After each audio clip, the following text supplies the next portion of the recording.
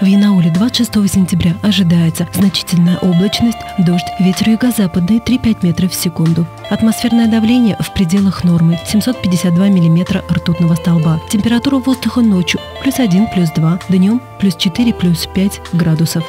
По данным МЧС, по республике ожидается пасмурная погода, дожди, ветер юго-западный 2-4 метра в секунду. Температура воздуха по республике ночью плюс 1, плюс 2, днем плюс 5, плюс 6 градусов.